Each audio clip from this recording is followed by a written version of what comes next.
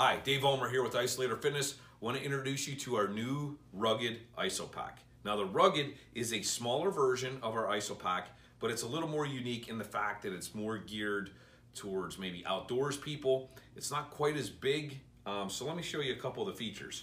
Um, on the side here, we have di different clips and uh, strapping and also Molle on the side. So if you want to strap your jacket to it, whatever. Here we have a pocket, a mesh pocket, and you can fit a nice giant water bottle in here if you need to, or shaker bottles, um, or whatever you want.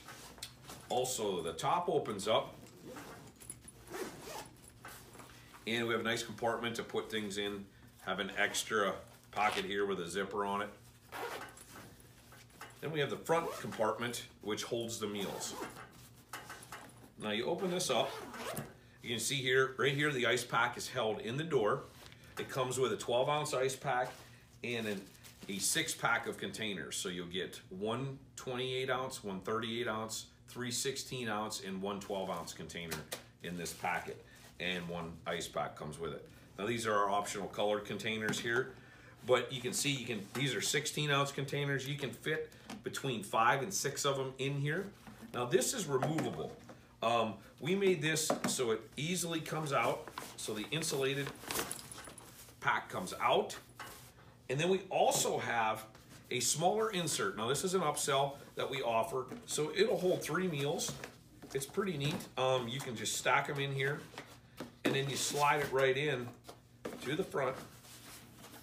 And now, if you're a hiker or you're a hunter or you only need the three meals, now you have another location to put more stuff in here.